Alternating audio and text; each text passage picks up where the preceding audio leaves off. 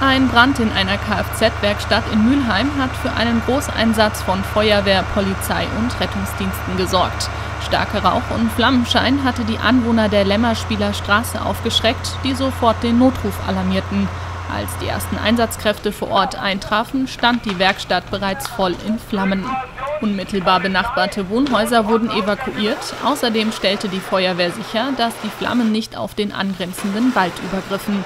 Verletzt wurde bei dem Brand niemand, trotzdem war der Einsatz für die Feuerwehr nicht ganz ungefährlich.